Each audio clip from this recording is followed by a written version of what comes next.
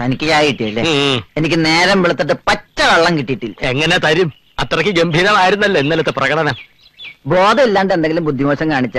ബുദ്ധിയുള്ളവര് ബോധത്തോടെ പറഞ്ഞ് മനസ്സിലാക്കി തരണ്ടേ? അതല്ലേ ബോധക്കേടുള്ളവരുടെ ലക്ഷണം? എങ്ങനെ എങ്ങനെ?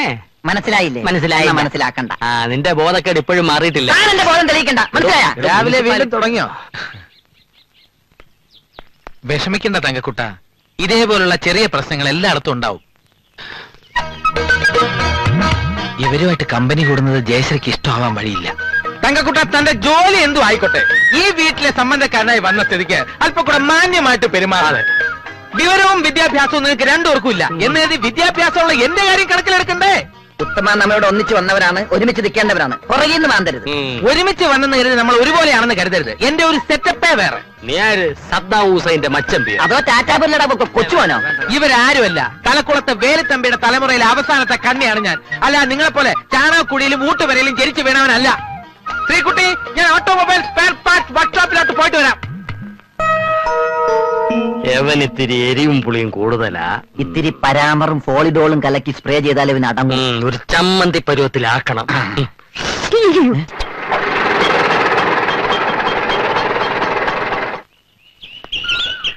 ഇവിടെ ഇവിടെ.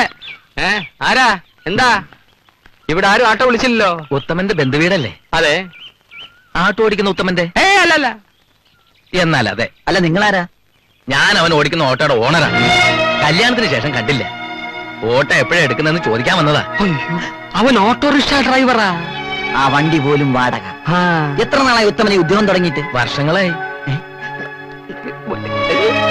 ഉത്തമന്റെ ഭാര്യയോട് ചോദിച്ചാൽ അവൻ എവിടെ പോയി എന്ന് കൃത്യമായിട്ട് പറഞ്ഞു തരും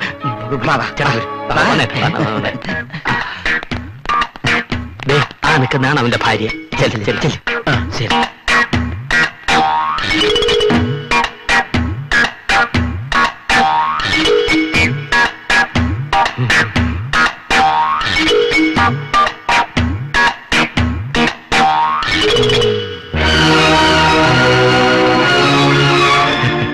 ഇന്ന് അവന്റെ സ്പെയർ പാർട്ട് ഷാപ്പ് പൂട്ടും. ഇല്ലെങ്കിൽ പൂട്ടിക്കും.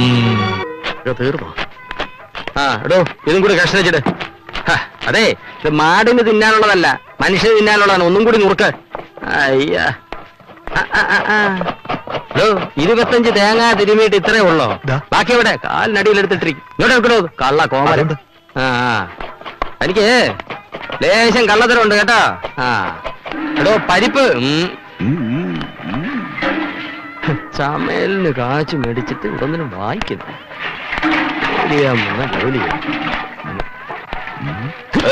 ഇത് മുഴുവൻ വായിച്ചിട്ട് താൻ പുതിയ നോവൽ എഴുതാൻ പോവാ? കഴിഞ്ഞ ലക്കത്തിൽ തുടങ്ങിയ പിരിമുറുക്കോ. ഈ ലക്കം വായിച്ചല്ലോ ശ്വാസം മുട്ടും. താൻ കഴിഞ്ഞ പാചകത്തിന് എനിക്കൊരു ശ്വാസം മുട്ടലും പിരിമുറുക്കുമായിരുന്നു.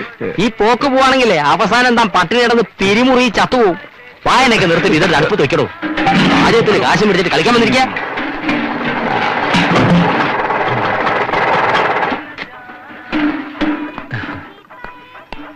കണ്ടിട്ട് കുറെ നാളായല്ലോ ഇരിക്കും പിന്നെ എന്തൊക്കെയുണ്ടാക്കിയ വിശേഷങ്ങൾ ആ കസരയുടെ? സുധാരേട്ടനെയും തങ്കക്കുട്ടിന്റെയും വിശേഷങ്ങൾ ഞാൻ അന്വേഷിച്ചറിയാറുണ്ട്.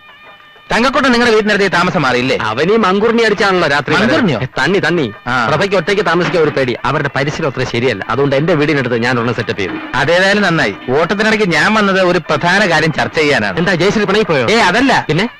നമുക്ക് പുറത്തേക്ക് ഇറങ്ങാം. അല്പം വിശദമായിട്ട് സംസാരിക്കാം. അയ്യോ എനിക്ക് ഇവിടെ ഇത്തിരി പണി കൂടി ഉണ്ടല്ലോ. ഞാൻ കൂടെ സഹായിക്കാം. ഏയ്, വേണ്ട വേണ്ട. കൃഷ്ണ. ഓ. ആ പപ്പടം ഒന്ന് കാച്ചി വെച്ചേക്ക്. ഞാൻ പുറത്തു പോയിട്ട് ഇപ്പൊ വരാം. ചായ ചോദിച്ചിട്ട് എത്ര നേരമായി ഉം, ചായ.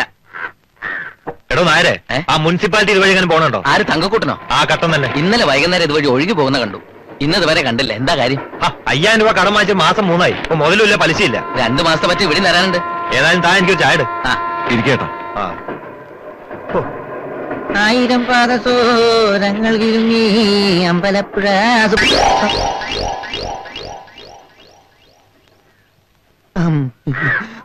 എന്റെ ഭഗവതി.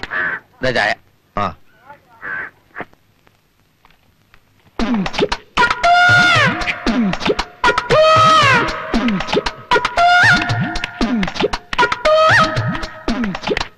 ഏ ഇത് അവൻ തന്നെയാണല്ലോ തങ്കക്കൂട്ടൻ. ആ സുനിയും പുറകിലുണ്ടല്ലോ. തങ്കക്കൂട്ട തങ്കക്കൂട്ട എന്തോ? ഞാൻ തങ്കക്കുട്ടനല്ല. തങ്കക്കൂട്ട നിക്കണ അവിടെ. എന്താ എനിക്ക് കാശ് തരാനുള്ള വാ വാ. ആ. വാ തങ്കക്കുട്ട നിക്കണ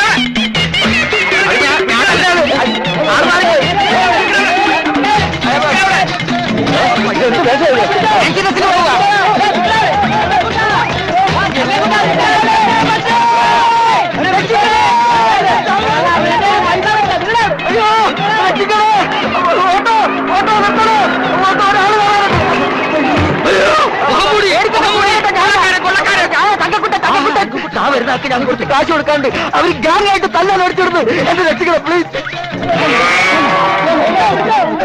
എടാ എന്റെ മുതലാളിയിൽ നിന്ന് കാശ് കടവ് വാങ്ങിച്ചിട്ട് മുഖവും മോടി മുങ്ങി നടക്കാണില്ലടോ എന്റെ കാശ് ഈ നിമിഷം കിട്ടിയില്ലെങ്കിൽ ഇവനെയും കൊല്ലും വേണ്ട മുതലാളി. എവന്റെ പരിപ്പ് ഞാൻ ഇടിച്ചിളക്കാം. ഇടിച്ചവന്റെ ഷേപ്പ് മാറ്റും. നിങ്ങളെ നീ കാശ് വാങ്ങിച്ചിട്ടുണ്ടോ? എന്റെ കയ്യിൽ നിന്ന് അയ്യായിരം രൂപ വാങ്ങിച്ചപ്പോൾ തിരിച്ചെന്നില്ല തന്റെ അയ്യായിരം അല്ലേ വാങ്ങിച്ചുള്ളൂ. എന്റെ രൂപ അമ്പതിനായിരമാണ് വാങ്ങിച്ചത്. ഒരു വർഷമായി. ഇതുവരെ തന്നിട്ടില്ല. പലിശയും ചേർത്ത് ഒരു ലക്ഷം രൂപയായി. ഇവനെ നമ്മുടെ സംഘത്തിൽ കൊണ്ട് ചോദ്യം ചെയ്യാൻ ശരിയാവും. വണ്ടി കേരള വണ്ടി കേരള. അപ്പൊ എന്റെ കാശ്? തൽക്കാലം ഈ പമ്പ് വാങ്ങിച്ചു ആ പമ്പിങ്ങിതാ നിന്റെ വയറ്റ് പഴുപ്പാ. താനത് വെച്ചോ. ഇവൻ തരാനുള്ള കാശ് വരുമ്പോ താന് തിരിച്ചു കൊടുത്താൽ മതി. അതുവരെ താ ഓയിൽ അടിച്ചോ. എങ്ങോട്ടാ അളിയന്മാര് മൂന്നുപേരും കൂടെ? നിന്റെ അമ്മയുടെ നായര്. അളിയന്മാരോ? എന്താ അളിയന്മാര്? നമ്മുടെ അർജുനൻ പിള്ളയുടെ മൂന്ന് മരുമക്കളല്ലേ അവർ എടാ എന്നെ ഏൽപ്പിച്ചിട്ട് അവരെ പറ്റിച്ചളഞ്ഞല്ലോ വാങ്ങരുത് വാങ്ങരുത് വാങ്ങരുത്. കടം വാങ്ങാതെ പിന്നെ ഞാൻ എന്ത് ചെയ്യും? ഞാൻ ഒറ്റാം തടി ആയിരുന്നപ്പോഴേ ഈ ശമ്പളം കൊണ്ട് ഉന്തിരുട്ടിയാ പോയിക്കൊണ്ടിരുന്നത്. പിന്നെ ഇപ്പോഴത്തെ കാര്യം പറയണോ? ജയപ്രഭയുടെ മേക്കപ്പിനും ആഹാരത്തിനും വേണം ഈ കിട്ടുന്ന ശമ്പളത്തിന്റെ പകുതി. ദോഷം പറയരുതല്ലോ. എന്റെ ജയലക്ഷ്മിക്ക് മേക്കപ്പിലും ആഹാരത്തിലും ഒരു ഭ്രമവും ഇല്ല അവളുടെ വീക്കിന് സാരി സിനിമയാണ്. ഓ ഇപ്പോഴത്തെ സിനിമാ ടിക്കറ്റിന്റെ റേറ്റ് വെച്ച് നോക്കുമ്പോ ഞാൻ കൊട്ടകെ കൊടുത്ത കാശ് കൊണ്ട് ചെറിയൊരു ഹോട്ടൽ തുടങ്ങാമായിരുന്നു. പറഞ്ഞിട്ട് എന്താ കാര്യം? അവളുടെ അച്ഛൻ കല്യാണത്തിന് കൊടുത്ത ആഭരണങ്ങൾ മുഴുവൻ ബാങ്കിൽ നിന്ന് കണക്ക് പഠിക്കുക. ആ അതാ ഞാൻ പറഞ്ഞത്. നമുക്ക് മൂന്ന് പേർക്കും ധാരാളം കടങ്ങളുണ്ട്. ശരിയല്ലേ? ശരിയാണ്. നമ്മുടെ ഇപ്പോഴത്തെ വരുമാനം വെച്ച് ഈ കടങ്ങളൊന്നും അത്ര പെട്ടെന്ന് വീട്ടാൻ പറ്റില്ല. അതും ശരിയല്ലേ? വളരെ ശരിയാണ്. അതുകൊണ്ട്. നമ്മുടെ തൊഴിൽ അഭിവൃദ്ധിപ്പെടുത്തണം. സുധാകരേട്ടൻ അവിടെ ഇവിടെയൊക്കെ പോയി കഞ്ഞിയും കറിയും വെച്ച് കൊടുക്കുന്നതിനേക്കാൾ സ്വന്തമായിട്ട് ഒരു ഹോട്ടൽ തുടങ്ങുന്ന ലാഭമാവില്ലേ? സംശയം എന്ത് പത്തിരട്ടി ലാഭം. ആ ഞാനൊരു ഓട്ടോമൊബൈൽ സ്പെയർ പാർട്ട് ഷോപ്പ് തുടങ്ങിയാൽ എനിക്കുണ്ടാവും മെച്ചം. ആ. അപ്പൊ ഞാൻ എന്ത് ചെയ്യും സ്വന്തമായിട്ട് മുനിസിപ്പാലിറ്റി തുടങ്ങണം? ഞങ്ങളെ രണ്ടുപേരുടെയും ബിസിനസ്സിൽ തങ്കക്കൂട്ടിനെ കൂടെ ഞങ്ങൾ പാർട്ട്ണർ ആക്കും. മുനിസിപ്പാലിറ്റി നിന്നുള്ള കാശും കിട്ടും ഞങ്ങളുടെ ലാഭത്തിന്റെ വിഹിതവും കിട്ടും. ഇങ്ങനെ മനപ്പായസം കുടിച്ച് വയറ് വീർപ്പിക്കരുത്. ചെറിയ ഹോട്ടൽ സ്പെയർ പാർട്സ് കട ഇതൊക്കെ സ്വപ്നം കാണാൻ കൊള്ളാം. ഇതിന് പുത്തൻ ആര് വരും? തോക്കിക്കയറി വെടിവെക്കരുത്. ആ.